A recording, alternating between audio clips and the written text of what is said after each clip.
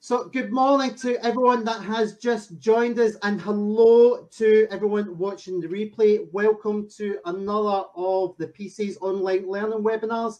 This time it's all about invasive weed management. Are we winning? I'm your host, Andy Ferguson. Today I am pleased to welcome back my colleague, PCA's Technical Director, Dr. Peter Fitzsimons. We are about to start the main presentation just for those that have just joined us, and I can see there is quite a few folks that have just come online.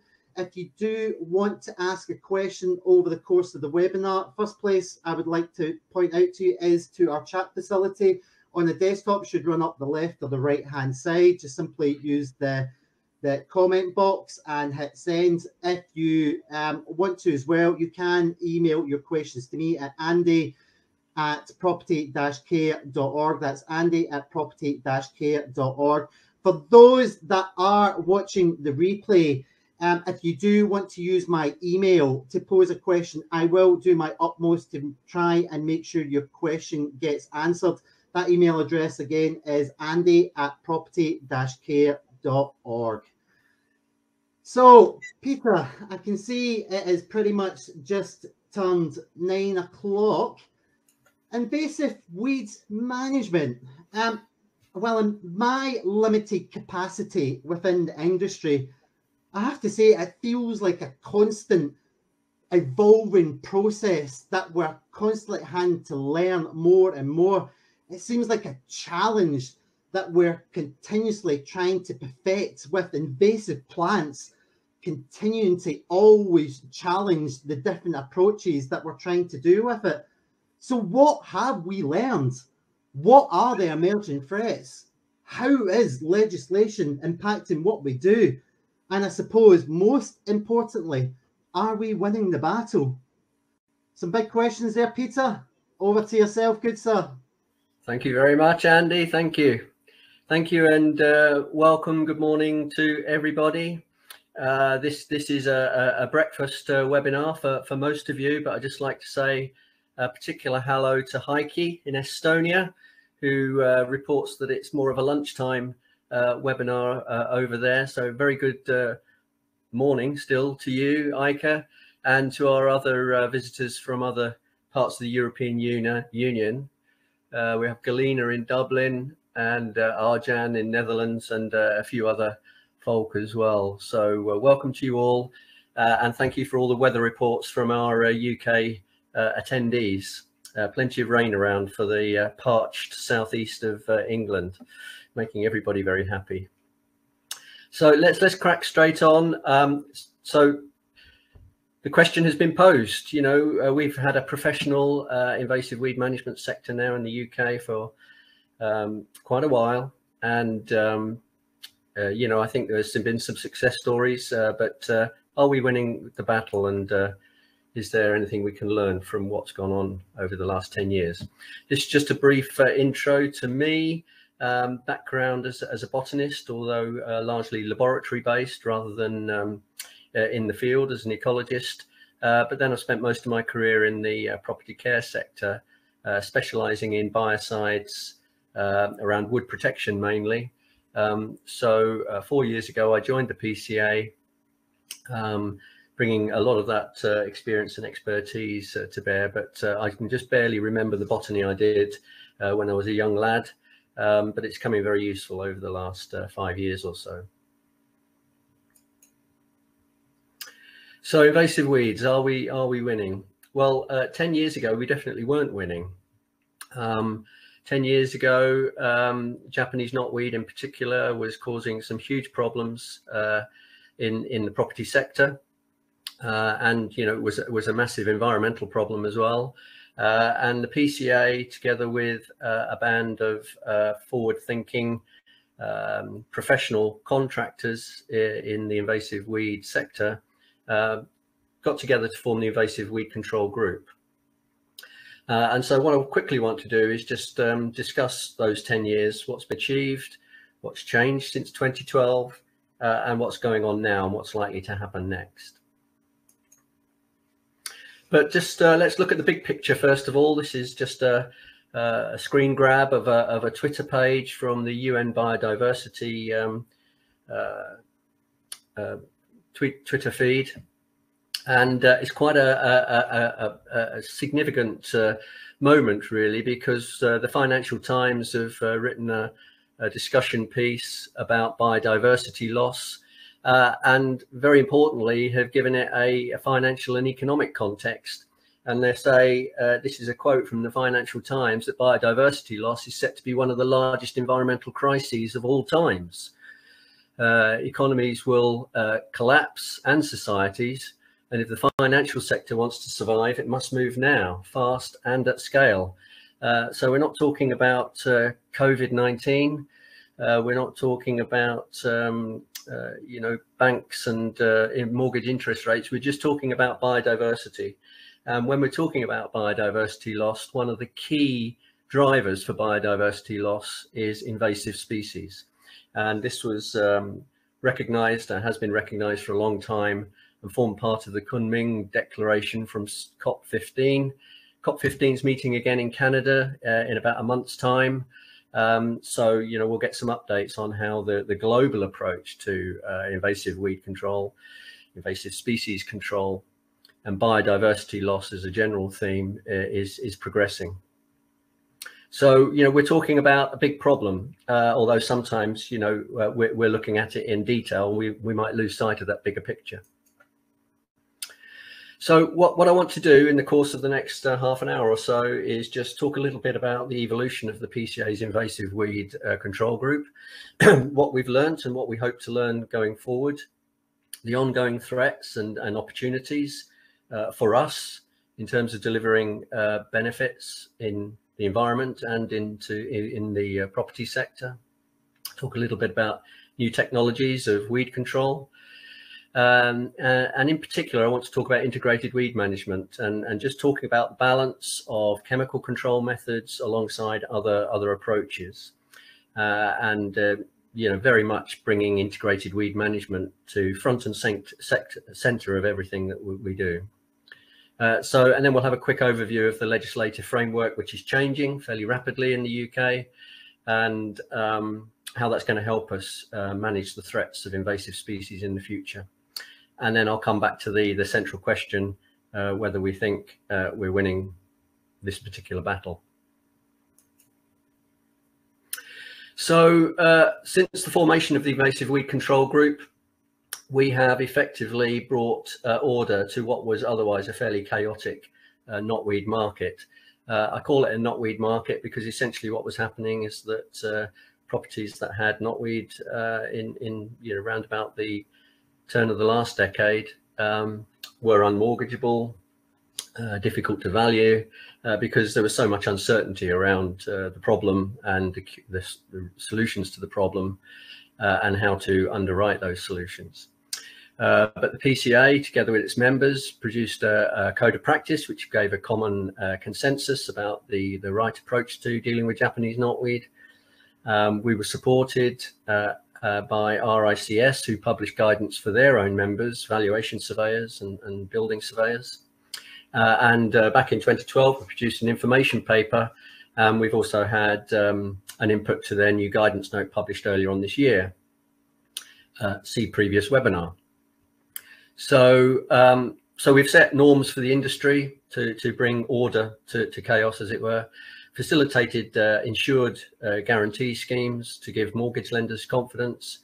We provided a, a, a, framework for professional standards of competence within the industry through training and examinations.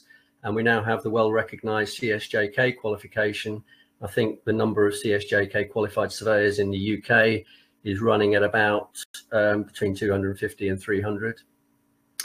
Uh, and of course, we do all the time as part of our remit as a trade association encourage continuous professional development uh, through the organization of conferences and through things like these webinars.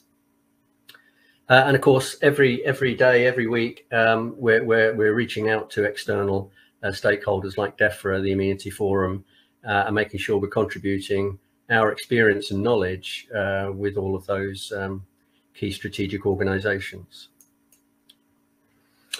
So these are just some of the documents we've uh, had a hand in uh, helping to produce or producing ourselves. So the original RICS um, information paper, our own code of practice, and then on the right hand side, the new RICS guidance note um, on uh, categorizing uh, Japanese knotweed in, in, in, a property valuation context, uh, and our own um, uh, guidance notes uh, supporting that document, uh, giving a lot more information about the practicalities of uh, options available for management and control.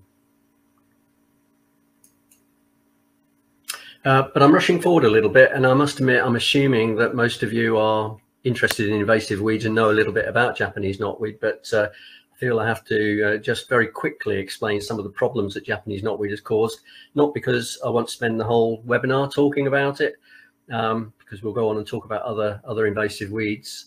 Um, but just to give you an idea of some of the, the challenges this plant uh, poses all around the world. Uh, it's been a non-native invasive in the UK for about 100, 170 years. Um, interestingly, the problem is caused largely by female plants and the plant spreads only by vegetative means. It doesn't produce fertile seed in the UK um, described by a Berlin research group recently as a super spreader. So tiny parts of the uh, the rhizome, underground stems, um, can grow uh, in in new locations when when the plant is dispersed. Um, and when it does get established, it tends to produce monospecific stands and will displace native species, produce no uh, ecosystem benefits at all in terms of food for invertebrates. Um, and of course, it has no natural diseases um, at the moment um, in Europe that uh, that would otherwise naturally control it. So it tends to dominate the landscape where it occurs, and and indeed in property. Uh, it's always been listed in Schedule 9, so there's always been a legislative framework for the control of uh, Japanese knotweed. We'll talk about that later. Um, it's equally at home in the built environment. It seems to like growing around buildings, you could say. Um, it certainly doesn't have um, any any any particular problems growing in relatively alkaline environments like uh, uh, through concrete and mortar. Although it, like most plants, it can't really grow through solid structures, but it can exploit cracks and weaknesses. Uh, because of the problems Japanese knotweed caused all those years ago, the Environment Agency produced its own code of practice, quite a long, detailed document, largely about managing uh, knotweed in terms of um, uh, landscape uh, management practice, uh, excavations um, to remove knotweed by physical means. it's proved to be really, really useful. And around that document, there was a, a coherent professional management sector evolved for the management of Japanese knotweed approximately 25 years ago. And some of our members uh, were very much involved in, in, in advising the Environment Agency and working closely with them all that long time ago. Uh, so, you know, this is just uh, some some pictures to, to, to put some flesh on the words. Uh, Japanese knotweed crowns on the left there uh, can be quite gnarly, dense, fibrous structures which expand almost like the trunk of a tree so that every year they get a bit larger in diameter and depth, and they can cause a certain amount of heave and disruption. Uh, the canes in the middle, um, usually with a stand of knotweed, you'll see some canes going back for two or three years before they finally um, uh, fall over. Uh, but from these crowns, you get new canes produced every year. Uh, so it overwinters uh, in the soil uh, and these canes can themselves be very disruptive and prevent access to uh, to um, certain sites. And on the right hand side, it's just a picture I took in Northampton Town Centre recently. Um, you know, a stand of Japanese knotweed about 50 meters long and about 10 meters deep, uh, just in an otherwise natural uh, setting. Um, and you can just see um, the, the, Japanese knotweed at the top of the bank there, and that slowly but surely it's uh, excluding uh, there's nothing else growing anywhere near the Japanese knotweed, no teasels, uh, no galium, no uh, willow herbs or, or, or, any of the other normal weeds that uh, occur in the foreground there. They will all be excluded in due course. So the impacts of Japanese knotweed, I think we can summarize uh, in two ways. One is the environmental impact, which is really important. Um, it is a classic invasive species in the sense of uh, displacing uh, native flora and everything that depends on the native flora. Uh, but additionally, because Japanese knotweed occurs in, in rivers, uh, alongside rivers and streams, um, a lot. Um, the uh, the dead canes uh, every year, some of them will fall down um, either because of flood events or um, uh, just wind and rain. And these can be quite persistent in the water and cause blockages at weirs and dams and cause additional flood risks. In the property sector, so we'll call it amenity impacts, so around residential and commercial buildings, um, knotweed can cause problems with access. It can be a nuisance just purely from the point of view of trying to manage it and uh, suppress its growth. It can cause boundary disputes because of uh, it's it's uh, it, it doesn't recognize boundaries. It quite happily will grow under walls or uh, uh, fences and uh, transgress from one property to another. and notoriously, it's prone to cause damage to hard surfaces. I've got a picture here of a uh, patio slabs being lifted by um, some knotweed rhizomes and crowns that have just um, had these patio slabs laid over the top.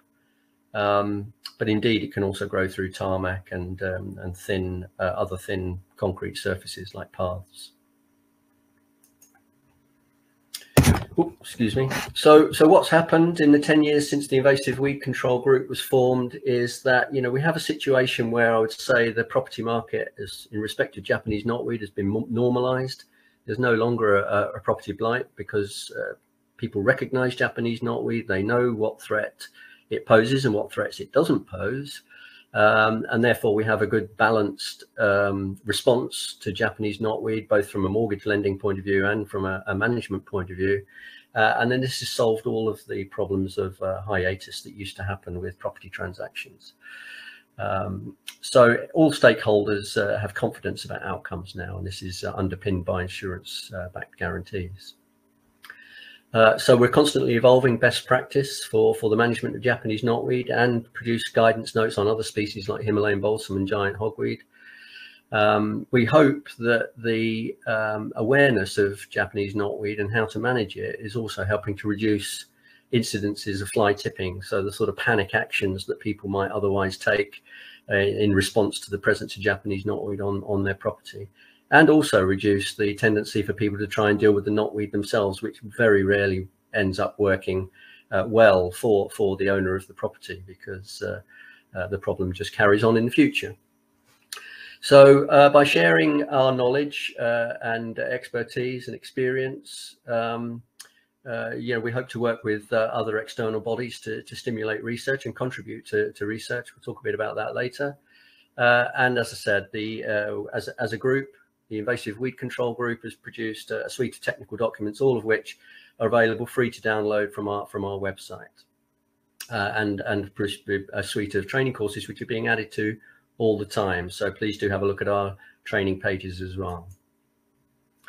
Uh, Japanese knotweed in the wild. I mean, we mustn't forget, although sometimes we are a little bit focused on its impact in in, in the property sector uh, that actually it is a huge problem in the wild and continues to be so. I guess this is the first time I'm going to address the question, are we winning? And I, I think all the evidence I can see, sorry, this is a bit anecdotal, but uh, rather than scientific, but all the evidence I can see is that we're not really uh, winning the battle, that Japanese knotweed is still very much in the ascendancy.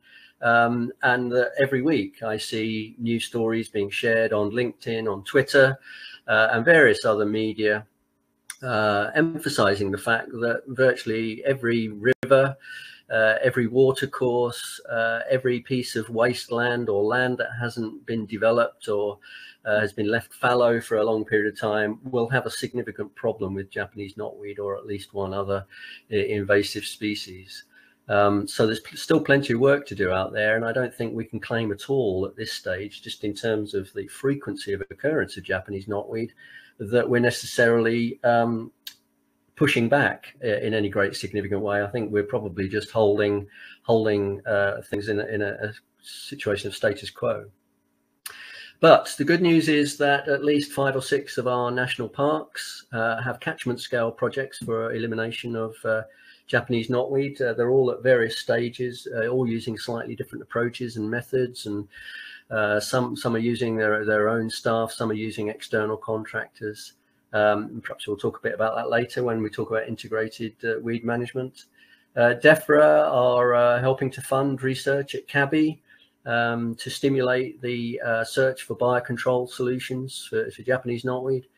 Uh, these may not be a long-term solution for the property care market because they biocontrol doesn't tend to be a completely black and white solution, which is what people are often looking for.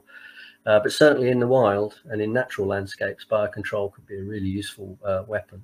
Uh, so I believe there's further trials going on uh, both in, in Holland, uh, sorry, the Netherlands, and in um, looking at uh, other technologies uh, in the UK as well. We'll talk about those later. The Non-Native Species Secretariat, sorry about using the um, abbreviation there. The Non-Native Species Secretariat is a really, really useful um, organisation in the UK. It's a coordinated uh, uh, collaborative group formed by all the different uh, agencies in England, Scotland and Wales.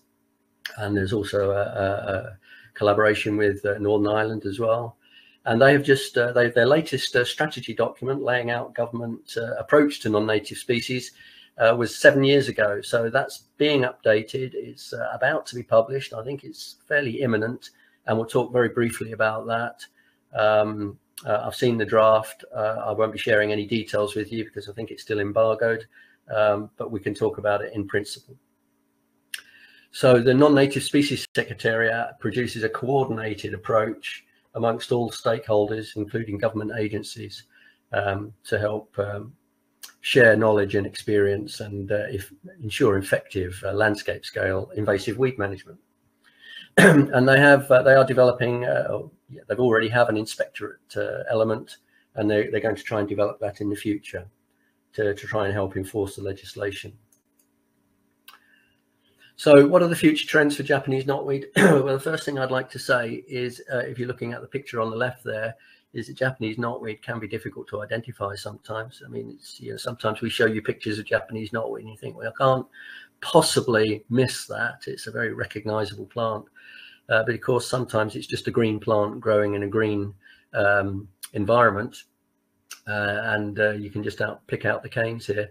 Uh, and of course, Japanese knotweed comes in many forms. This is uh, hybrid knotweed, so-called Bohemica, uh, and uh, leaf shape is a little bit different. Uh, the outline of the leaves is a little bit different. So, uh, you know, certainly at early stages of growth, um, it can, can be uh, difficult to pick up or spot if you're looking for the classic spade-shaped leaves of Japanese knotweed. but it's just as much a problem in North America. It is definitely uh, the dominant knotweed um, um type, which is causing a problem uh, and and uh, is starting to occur more often in the UK as well. But anyway, what's uh, what's been happening more recently um, is that uh, we, we're starting to see more recognition recognition across Europe uh, for the need for an organised approach to managing, particularly Japanese knotweed, but invasive species generally. I mean, there are some very sophisticated organisations through the European Commission um, for coordinating uh, government and research action for, for invasive weeds. Um, but the professional uh, invasive weed management sector that we have in the UK isn't really uh, repeated anywhere else in Europe, but we're starting to see that happening. Um, so uh, there are contractors in the Netherlands, in Sweden, etc., etc., uh, and in Ireland in particular, um, that are um, formalizing and uh, unifying their, their, their approaches and uh, policies for, for Japanese knotweed control. Uh, the Environment Agency responded to the recent Common Select Committee uh, and were asked to um, develop research priorities through negotiation with organizations like us, the Invasive Weed Control Group. Uh, and, you know, we've put together a discussion document with them, which is still under review, unfortunately been held up by COVID somewhat, but one of the key areas that we've indicated needs to be uh, researched in a lot more detail is the phenomenon of uh, rhizome dormancy. to understand it both in the plant generally, uh, but also to understand how it's influenced by herbicide treatments, for example. Um, and, and, I guess the fundamental question there is, um, what are the factors that lead to dormancy being broken uh, over a period of time? uh, I guess it's one of the real big problems with Japanese knotweed is that you know you're never really quite sure when it's dead uh, because it can just lie doggo for 10 or 15 years and and then anecdotally uh, we see that um, it can start growing again in the longer term. So uh, we've developed best practice and it's uh, based on a holistic approach. So taking all of the available uh, techniques available and putting it all together in, in a code of practice. Um, we're trying to repeat the success we've had with Japanese knotweed for other non-native uh, species, non-native weeds, um, and and uh, you know best practices developing all the time there as well. Uh, and we'd like to raise uh, awareness going forward for a lot of unlisted species. So we're a bit uh, focused on Wildlife and Countryside Act Schedule 9 and the invasive alien species uh, species of concern. Um, but of course, there are a multitude of other non-native species which are present uh, and which are not necessarily formally recognized, um, but which are still causing some problems. So here's a good example of one uh, is Russian vine, very close uh, relative of uh, Japanese knotweed, although Japanese knotweed has now been moved into a different genus. Um, they're never nonetheless both part of the Polygonaceae, the, uh, the same family of plants. Uh, and we all recognize Russian vine as being this uh, spreading vine, which produces rather knotweed-like uh, flower racemes uh, about this time of year. And um, if, you know, when we see something like this, uh, you know, we recognize that as being a classic uh, Russian vine um, situation. But if I tell you that this picture was just one still from a panoramic photo that I took, what you'll realize is that this panorama photo uh, was taken in Oxford fairly recently. And from the left-hand edge of the picture to the right-hand edge of the picture is about 100 meters. And this is one Russian vine plant running all the way along that hedge, over the top of these trees, past that building on the right, and all the way up to the top of the road. You can't quite see it in this picture, but you know, Russian vine has completely taken over and dominated both that hedgerow and all of the gardens of all of the properties uh, beyond it and um, I, I, couldn't quite ascertain whether it was one plant or whether it was several plants because uh, Russian vine can self-seed, uh, you know, or become pollinated and produce viable seed. Um, but every time I see Russian vine, I, I, think to myself, this is a classic invasive species. It's very aggressive, very fast growing, non-native, probably doesn't provide any food for caterpillars or moths uh, and uh, you know ought to be on Schedule Nine, but um, it isn't. And uh, you know perhaps these there's an argument for for looking at it going forward in the future. of course, another one and quite a big debate going on at the moment is is bamboo. None of the bamboo species, there are literally thousands of them, but I mean, probably in Europe only a few hundred. all of these bamboos, none of these bamboo species are currently uh, scheduled or listed in any way under UK legislation, but they are um, aggressive, fast growing, rhizomatous uh, plants with classic invasive properties and abilities. They can cause a lot of physical damage like Japanese knotweed. You can see in the bottom center there, the rhizomes extending into a subfloor cavity and starting to grow up behind uh, skirting boards and such like. Um, it does spread to the wild. That picture on the right is one I took on holiday recently down in Devon. That's the southwest of England. Uh, a very big stand of knotweed. Those uh, culms were about five meters tall um, and in, a, in, an extremely wild uh, habitat next to uh, a river. I can't quite work out how it got there. I think it was fly tipping because it's quite close to a road. Um, and it was completely dominating uh, the area where it was growing. Excuse me a second. Unless somebody uh, does something fairly quickly, I mean, that entire um, river catchment area uh, will eventually just be covered in bamboo. Uh, and there's another picture in the center there, which was taken in uh, in Wales, um, showing pretty much a similar thing. It was actually a hotel garden. They had bamboo um, you know, failed to get on top of it. And uh, within the space of about 10 years, they only had one plant in the garden, and that was bamboo. So lots of management challenges, very similar to Japanese knotweed in terms of what it does, where it occurs, the damage it can cause, but not currently listed under any legislation. So uh, we need to address that, I think, because uh, bamboo is going to continue to be uh, problematic. So we talked about rhizomatous species. Let's have a quick look at some of the seed dispersing species. Um, you know, quite a lot of our invasive plants are quite happy, can produce fertile seed and do so copiously, which is another invasive trait. uh, giant hogweed, uh, Himalayan balsam. We have guidance notes published and available on our website for both those species.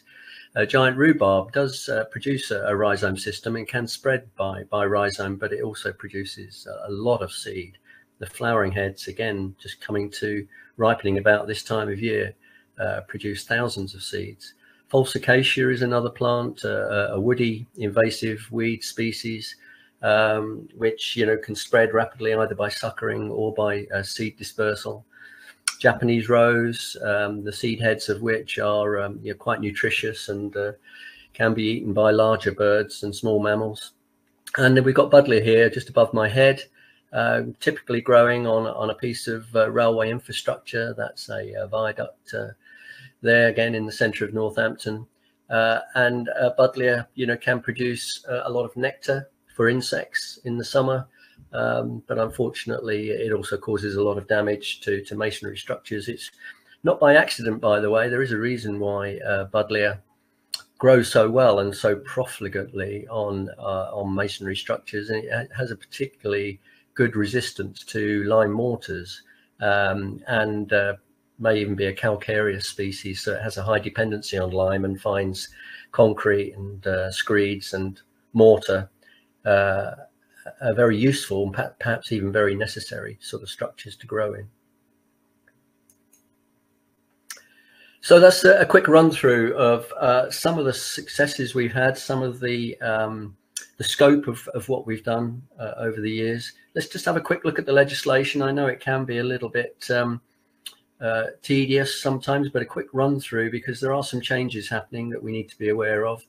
Um, can I just say a big plug for Montbretia, by the way, Crocosmia, just above my head there. I'm going up to Scotland for another short holiday next week, and I fully expect to see entire hillsides covered in this stuff. And, and they will be because uh, every time I go there, um, I see plenty of Crocosmia. I mean, it has massively escaped into the wild in the west of Scotland. Um, I wouldn't say it's completely dominating the landscape in terms of excluding other species, but given time, um, surely that will happen. Um, we've had the Wildlife and Countryside Act for nearly 43 years. Um, and, uh, you know, there's a schedule of invasive species which landowners are required to prevent from uh, growing and spreading. So uh, having the plant isn't against the law, but having the plant and allowing it to, to grow and spread is.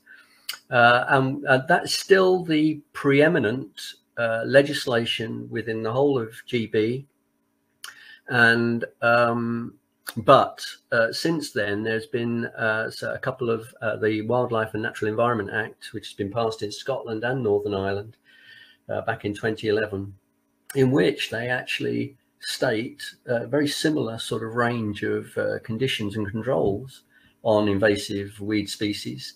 Uh, but they state that it is an offence to plant or otherwise cause to grow any plant in the wild outside its native range which I think is an extremely helpful um, phrase uh, to use for legislative purposes. I mean, it can, could cause some problems from a, from a from a legal point of view, um, because people will argue about what is the native range of a of a particular plant species. I mean, but essentially what they're saying is, well, we don't really need a list of invasive plants. We we know what's native and what isn't, and if you have a non-native species and it's uh, causing a problem by by spreading and displacing native species and otherwise um, being a nuisance, then we can legislate against it. So uh, I'm not going to dive into the details of what powers there are under the Wildlife and Countryside Act or the Wildlife and Natural Environment Act. Um, but you know we have the legislation to to to act uh, on any landowner that is not responsibly managing invasive species, non-native invasive species on their land. And of course, um, whilst all this was going on, we had the uh, EU uh, invasive alien species regulations come along, which added another 25 or so species to the list we already had under Schedule 9. So currently there are between about 75 and 80 unique species covered by either one piece of legislation or another. Plant species, that is. Uh, but of course, that's that's the, the environmental uh, legislation. But of course, we have legislation which uh, has an impact in the property sector. So these are sort of civil law uh, acts which which help to clarify responsibilities. One is the Anti-Social Behaviour Crime and Policing Act, which hasn't changed. It doesn't mention Japanese knotweed, but the guidance for the Act, um, guiding local authorities and the police and so on about the powers that they can enforce under the Act, uh, do include uh, invasive species as nuisance, and that includes giant hogweed, not just Japanese knotweed. and that has now been used two or three times to, to good effect. in other words, large fines for for landowners who fail to um, manage knotweed on their land when it's causing a detriment to the community, uh, other property owners nearby. We've had the Wasteland Williams Network Rail High Court case, which has established precedent for the uh, idea and concept that the presence of Japanese knotweed uh, in the soil uh, can, in and of itself, uh, constitute a nuisance in law. And all of the uh, tort law that comes from the Magna Carta, so on, uh, regarding the rights of freeholders to um, free enjoyment of, of their land. And then we've got the invasive since very recently. So this is um, January 2020. This uh, first hit the headlines. We now have the invasive alien species enforcement and permitting order, which came from European legislation, and it's effectively the transposition of that legislation into UK law. Uh, and so this uh, basically enhances and uh, adapts and modifies the powers that are available to the Environment Agency, to DEFRA and so on, um, to enforce legislation for invasive weed control. Um, now, what's happened since then is the European list of uh, species of concern has been updated both in 2019 and this year. Uh, and this year they've added uh, Himalayan knotweed to the uh, list of species concern. So Himalayan knotweed now comes under the invasive alien species enforcement and permitting order. Himalayan knotweed prior to that had only ever been on Schedule 9 list for the Northern Ireland, uh, not in England and Wales, not in Scotland, uh, so that's uh, quite a significant change because I know for a fact that many of our members report Himalayan knotweed problems. They find it quite a lot uh, when they're carrying out their surveys. Uh, and that is now uh, a species of concern under the invasive alien species regulations. Um, by the way, the um, Latin binomial there is the new correct one under STACE. So, but you may know of Himalayan knotweed as Polygonum wallichii um, but it's not called that anymore. But you might still see that name uh, in um, legislative documents. Uh, we have a, our guidance note on uh, uh the list of invasive alien species. We'll clarify that for you if you want the details. Uh, and so Brexit happened uh, just prior to COVID, unfortunately. So it's all been a bit confusing over the last two and a half years. Um, but uh, one of the things the UK government has had to do uh, in the aftermath of Brexit is to clarify a lot of uh, legislation, European legislation, which is being transposed into, into UK law. So we have the order that I've just talked about, the enforcement and permitting order, uh, and they've now published a, a, list of species of concern. Uh, now, they, they published in, in England and Wales, the list that they've published separates species which commonly occur, uh, which are widespread, I think is the terminology, and all the others. So what they're essentially saying is, um, you know, they would expect there to be uh, management plans in place for the uh, commonly occurring species at the very least. So, um, but in Scotland, uh, just very recently, a similar thing for, for, for the Scottish uh, Parliament. They've now passed the uh, invasive non-native species EU exit regulations 2020. Uh, and in the Scottish legislation, they simply say that the species of concern list is the same as the European list. So that's all 40 of them. Uh, uh, but obviously, um, only half a dozen or so on the European list will be a particular problem in, in Scotland. And just very quickly, I'd like to say a thing about government regulators. I mean, we've got the Non-Native Species Secretariat, which is fantastic as a, as a central um, uh, expertise uh, and uh, communication channels for everybody. They have the responsibility to coordinate the approach to invasive non-native species in, in Britain. And, uh, you know, representative bodies, the Environment Agency, DEFRA, Natural Resource Wales, you've got SEPA and Nature Scot in, in Scotland, and there is a, a liaison as well with uh, the mirror organisations now in Northern Ireland. Uh, and of course, they also have around the table and are in, you know, contact all the time with uh, research organizations, which are not government organizations, but uh, feed into discussions. You've got the um, Plant Health Authority and the um, Centre for Ecology and Hydrology. Uh, and what they do is they produce an, an, immense amount of useful information. I mean, I've been um, telling you how wonderful the, the PCA's technical document library is, and it, and it is. Um, but there's also a lot of information on the uh, Non-Native Species Secretariat information portal. Uh, they've got a new website. It's quite easy to navigate and find things. Uh, they have species alerts, fact sheets, management guides, and they have uh, some e-learning uh, opportunities which are free to access uh, for people who you know just want to familiarize themselves a little bit with certain species and and, and so on. So well worth having a look at. Uh, and of course, the PCA are very much involved in their stakeholder forum, which has been going uh, for a very long time indeed. But the key uh, thing to point out here is that they've um, produced a new strategy document. It's still in draft form, but it is coming. It's going to hit the streets fairly soon, I think. Uh, and, you know, they state in here that the government recognises its responsibility to protect GB's biodiversity, ecosystems, people and the economy from the risks posed by invasive non-native species. So the old 2015 strategy document went through a consultation process. A research report was produced by APEM in 2021, and now the strategy document is ready to be published. And um, I think it's going to be a really useful uh, clarification of, uh, of policy uh, and, and the way that the regulations are going to be imposed. So uh, this strategy document and the Common Select Committee approach uh, does depend a lot on it. They're reaching out to voluntary groups, wildlife organizations, and so on to, to, to help, if you like, fight the battle against invasive species, uh, which is great. But of course, those organizations tend to have limited resources. They rely on lots of uh, volunteer uh, uh, help and so on. Um, but you know, we are we are starting to see some landscape scale based initiatives to take on Japanese knotweed, giant hogweed, Himalayan balsam, and so on. Uh, we're seeing the water authorities, we're seeing national parks. Um, SISI in Scotland is is is is a, a really really great initiative. I can't tell you how much I love the work that they're doing. Um, they produce lots of case histories, which are really good, um, you know, for for learning purposes. So do visit their website. That's the Scottish Invasive Species Initiative, by the way.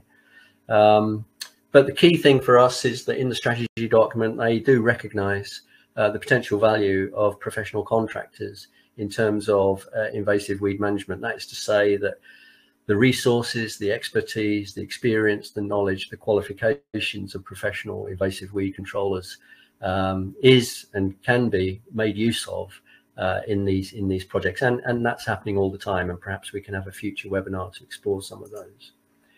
So as far as the legislation is concerned, just to summarize, there is a lot of legal protection from invasive species, but it's predominantly focused on their presence in the wild.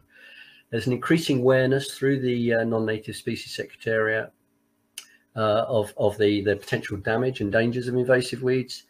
Uh, we have initiatives like Invasive Species Week, Species Week, Check Clean Dry campaign, and so on.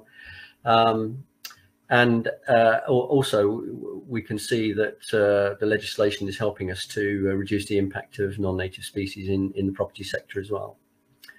But new invasive weed species are arriving at a fair old rate every year.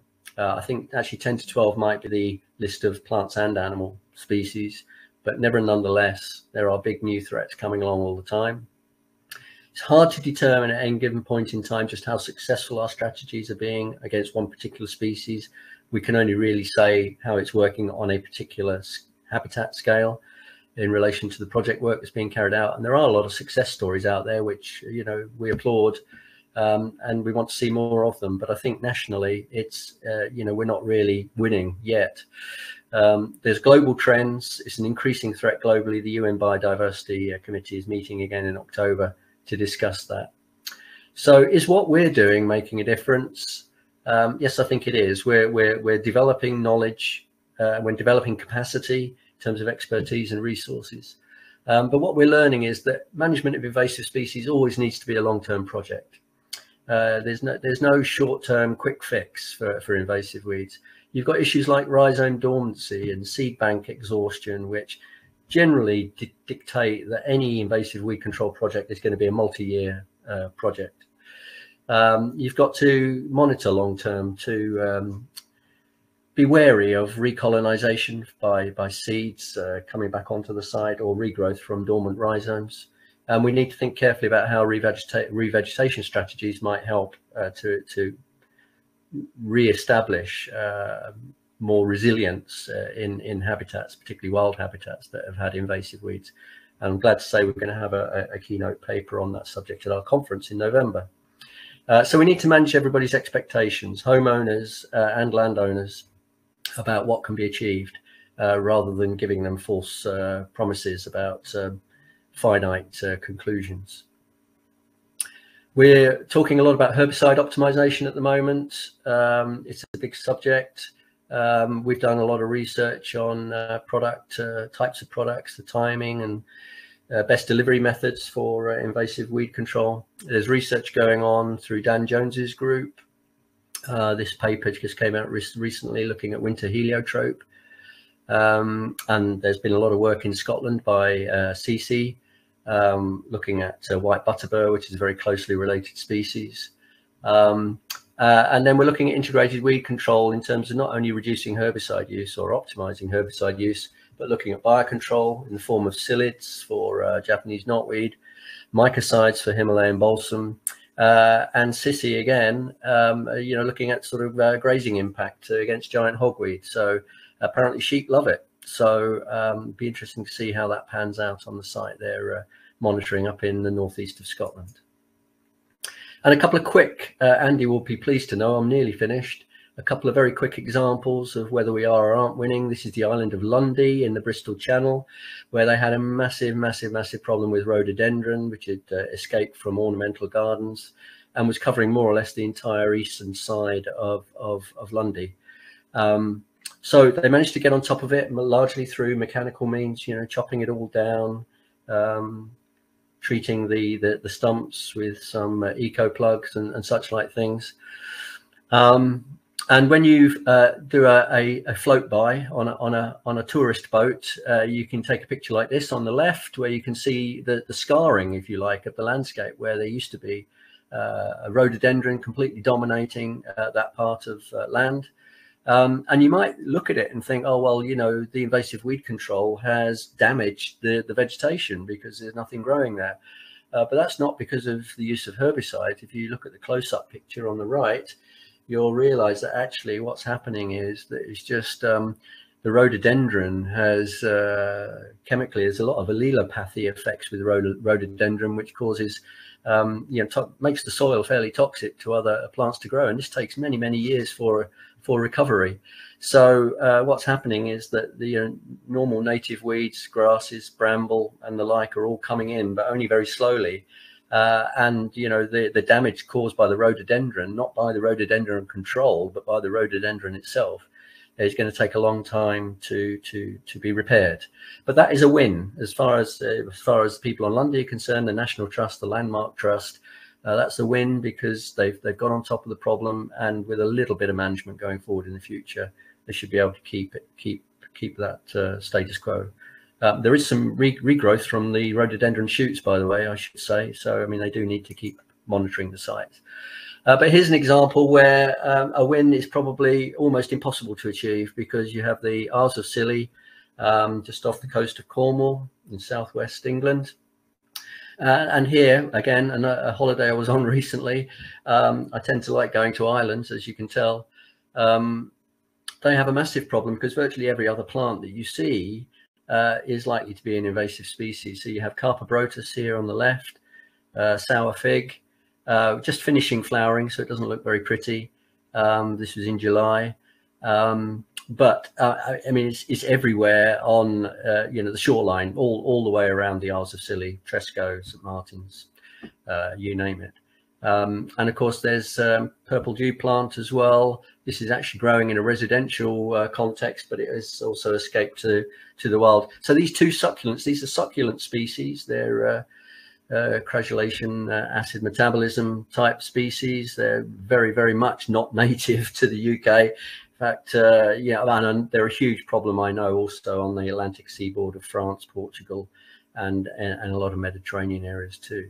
So these are problems that really need to be addressed in the future, but they're definitely not winning on the Isles of Scilly at the moment. So to summarize, uh, the PCA has done a lot of work over the last 10 years. The Invasive Weed Control Group uh, continues to, to do a lot of good work developing, organizing conferences and developing its uh, learning resources. There are lots of challenges ahead. We need to keep a collective approach in mind by liaising particularly with the non-native species secretariat. We're trying to develop new techniques with partners. Legislation is being clarified. That new strategy document, when it comes out, will help to do that. Awareness of invasive weeds and their control, the problems they cause and their control is increasing. But the challenge is still great. Uh, you know, there's a lot of new species arriving all the time. We need to keep an eye on those. So are we winning? My conclusion is sometimes yes, but there's still a lot of work to do. So thanks for listening, and it's over to you, Andy.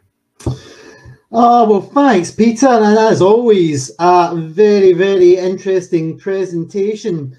Um, got quite a few questions to come. I um, just want to actually just comment. No, it was quite interesting. You mentioned about the fly tipping issues within with Japanese knotweed.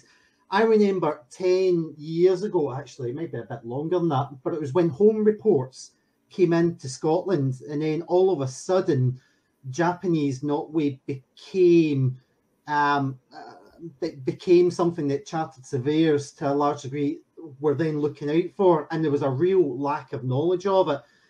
But I remember a report coming out, and it was um, at the old Ravenscraig Steelworks in Motherwell, where as more knowledge was coming out and as information was being communicated out about Japanese knotweed, all of a sudden there was just a whole load of tipping that was getting taken place within the Ravenscraig yeah. old steelworks. Yeah. Now that yeah. led to then a whole host of problems for when the new leisure facility was then built there.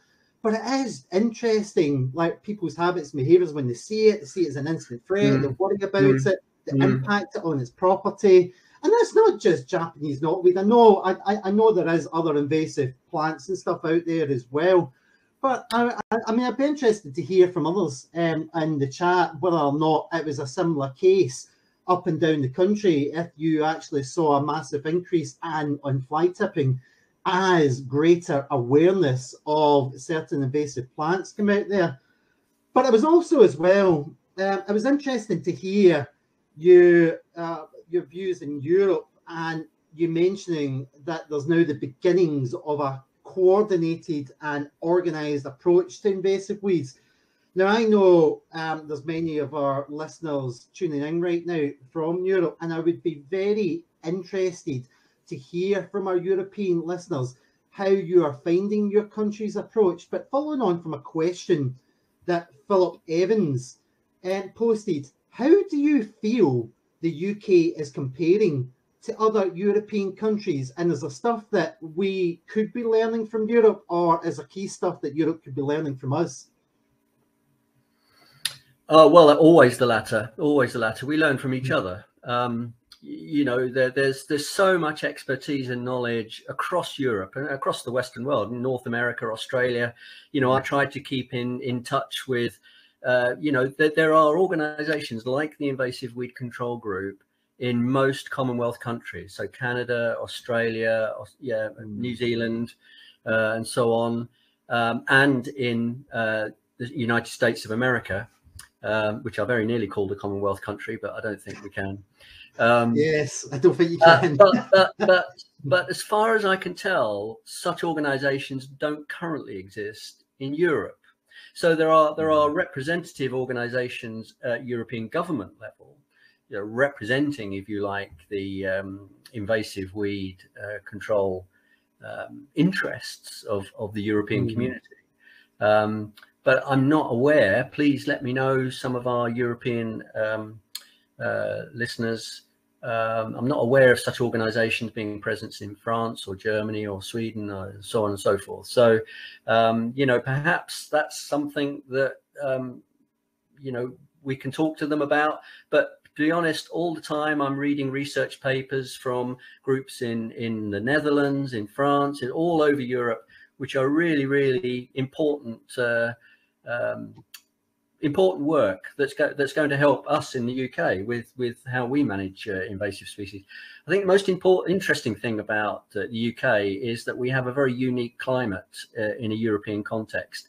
Is that um, you know our temperate um, climate means that we have a particularly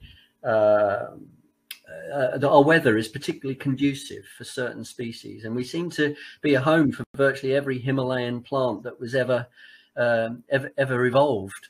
Uh, you know, rhododendron, Himalayan balsam, uh, you know, all these things, they all come mm. from the Himalayas. You know, it's no, it's no, it's no surprise that virtually every other invasive weed is called uh, either Japanese something or Himalayan something because mm. you know these, these seem, but it's because of climate. It's because of mm. climate. You know, if you go to Japan, if you go to the Himalayas, the climate in the, the, foothills of the Himalayas or in, in, in halfway up the mountains of Japan is almost identical to what you have in Glasgow, for example. Mm. You know, wet, mild, you know, not terribly cold in the winter. Uh, you know, and and so uh, whilst certain parts of the uh, you know Atlantic seaboard of France and parts of Spain um, and parts of, say, Norway and Sweden in particular. Southern Sweden has a climate almost identical to uh, to Scotland. Um, but um, you know, this this is this is where some plants come become a particular problem because of the climatic similarities. But if you get down into the Mediterranean areas, they've got they've got different plants, but the same sorts of problems, but more drought-loving plants or heat-tolerant plants. I think I think there's always a degree where we can learn from each other and we can do it. But I'd be interested to hear from um, those that are tuning in from Europe.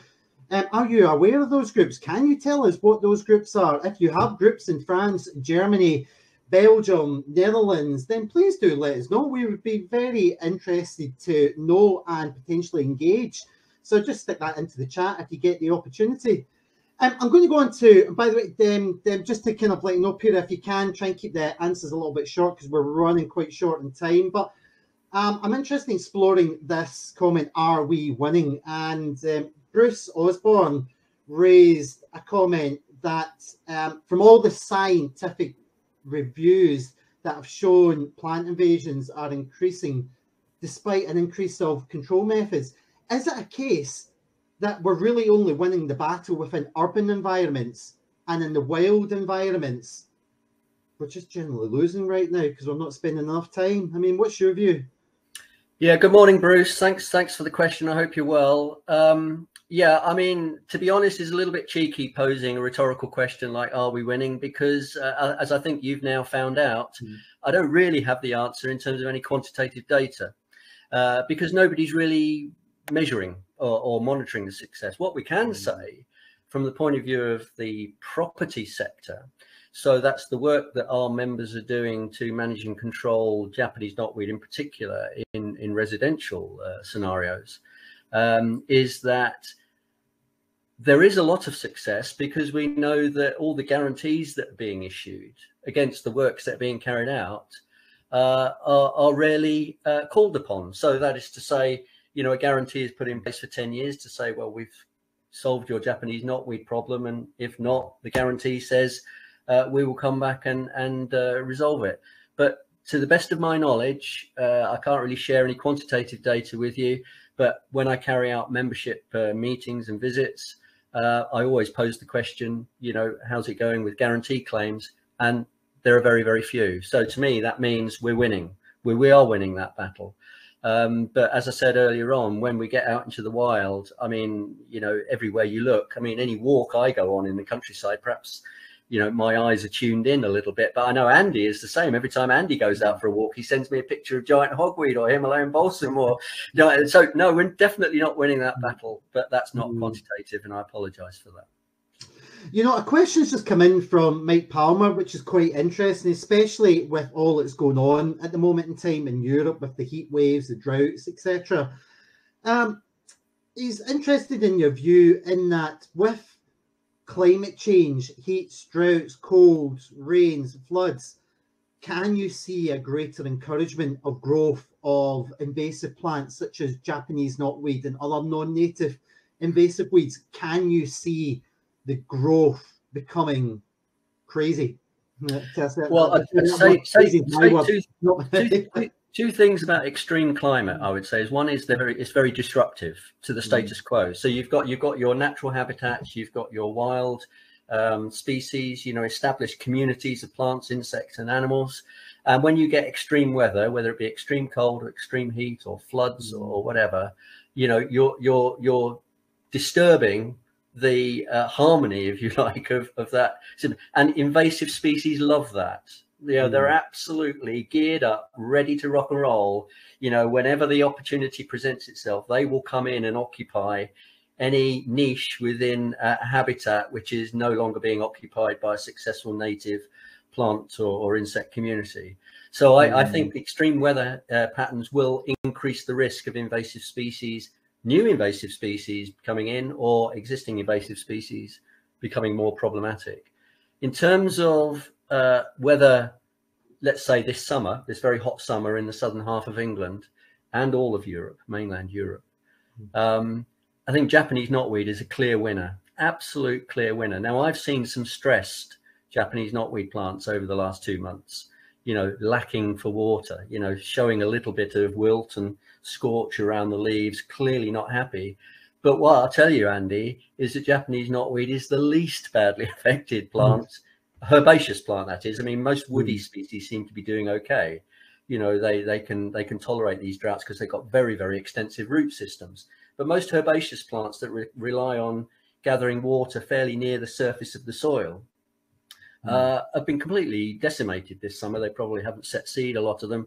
Whereas Japanese knotweed, I would say, you know, it's it's fine. It it will survive. It might not have done very well in terms of spread of growth this year, but it will come back next year and it's raining now. Here we are getting into September. We get a lot of rain. I mean, it can put on a, a, a lot of growth between now and November, and it will do. So, uh, yeah, I think Japanese knotweed is definitely winning because of the extreme weather. Well, folks, so just to let everyone know, we are running about five minutes over here. I'm going to try and get as many questions in as I can. So, Peter, if you can just um, if you can just make these um, any questions just short and sweet as best you can. The next question is going to be a bit of a challenge, though, and it kind of leans on the lending industry. Got an interesting question from Andrew Turner. Um, he he mentions that you seem very certain in your comment that the that the industry is now comfortable with the latest guidance on Japanese knotweed. But speaking on behalf of a lender, there still seems like there's very difficult decisions that need to be made, not least because of a comment that you made that it's never a hundred percent. You can never be a hundred percent confident that Japanese knotweed won't come back.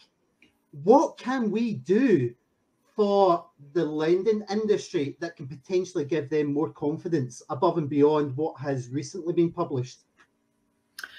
Uh, yeah, I mean, thanks very much for that question, Andrew. Um, the um, two things I think I can say. I mean, obviously, as far as lending policy is concerned, we, we don't try and second guess. You know what what uh, what what how lenders should behave or act. Uh, all all we can do is we have a very clear set of guidance from RICS, which enables valuers uh, and building surveyors to report to lenders about the what we now call management categories for Japanese knotweed. And there's very clear, it's very clearly stated in the RICS guidance what that means. So if they say it's category A or category B or category C or category D, there is an extrapolation from that in terms of the guidance for the lender. So what to do, what action to take, whether to, you know, um, uh, take it, take this into account in the valuation or the lending decision or or not you know but in in every case even the lower down levels say category c and d uh, you know the guidance is still that the uh, the property owner should be um, encouraged to, to take action to, to control the knotweed if it's present. But it's a nuanced uh, set of guidelines which takes account of the location of the knotweed in relative to whether it is or isn't causing any big problems the amount of knotweed uh, and its proximity to boundaries and that sort of thing. Um, I think the whole issue of dormancy, though, the whole issue of you know when is knotweed dead, uh, is is something that you know we've been discussing on and off since forever. And uh, the thing is, with changes in herbicide legislation, with changes in in, in sort of regulations around herbicide control, um, you know, we are in a position whereby we can confidently suppress uh, the growth of Japanese knotweed in the soil without disturbing the soil. Um, and we're so confident about that that we can issue 10 year guarantees on it. Now, it might be that we're confident enough to issue 15 or 20 year guarantees on it, but the insurance industry won't let us because they're not geared up to do 15 or 20 year guarantees in, in that property in that sector. So it's it's not really a decision that we've made to say, well, it only works for 10 years. That's far from it. Uh, that's that's just a, function of the insurance market. Um, and uh, I mean, I think really the answer to the question is that if a property has had a knotweed management plan and it's been successful and there's been no claims under the guarantee, uh, it's probably prudent at the end of that guarantee period to, uh, you know, to have some kind of precautionary check made to make sure that it isn't coming back and not likely to come back.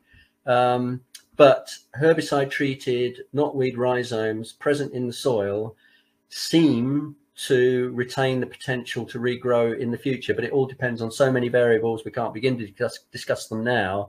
Sometimes it will never happen. Other times it, it does. Um, quantifying it is a problem. Uh, anecdotally, I would say that dorm, uh, herbicide-induced dormancy can break, um, you know, in the longer term. Um, so, but it all just depends on how much rhizome there was to start with, how much foliage there was, in other words, how much herbicide got into the rhizome network. Uh, and these are variables that we often don't have much control over. So it's, it's, it's not an absolutely perfect situation, but it's, it's, it's working. Right, Peter, um, we're, we're, we're, we're, running major overtime. Sorry, folks. I'm going to pose one last question to you, Peter, but if you can, really make it as short as possible. Yeah. Um. Uh, now this one actually comes from Nick Simpson, but it has come from other people as well. Um. He's asking Peter. Um. In, my, in his mind, Himalayan balsam is a far more prevalent um, invasive plant than, say, Japanese knotweed.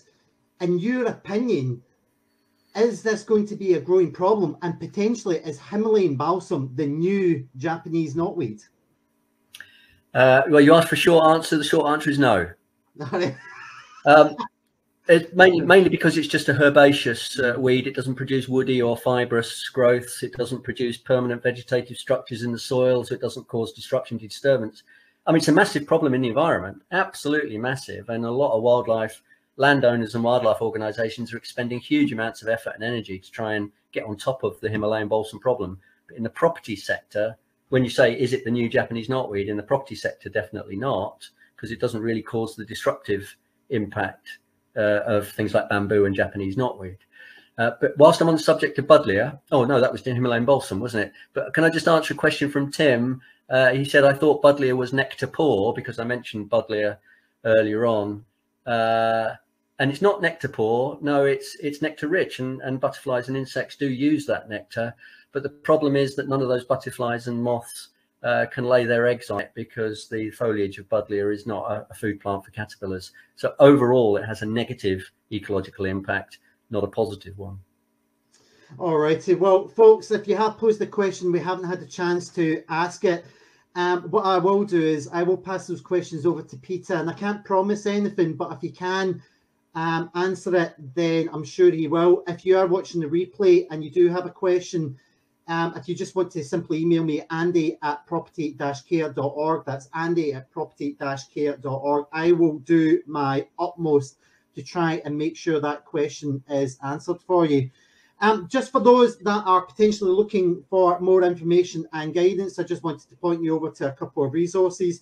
Starting off, you can go to our PCA invasive weed technical doc library. The link is on the screen. Um, you can also visit our professional guidance pages and CPD videos. Those links are on the screen as well. But we do have, um, there is some useful books that we would recommend as well. First one being the practical management of invasive non-native weeds in Britain and Ireland. I appreciate that there's people on from Europe there, but that's not to say that you wouldn't gain a lot of information from that book. But there is also a, a, new book that was out quite recently, Invasive Bamboos, Their Impact and Management in Great Britain and Ireland.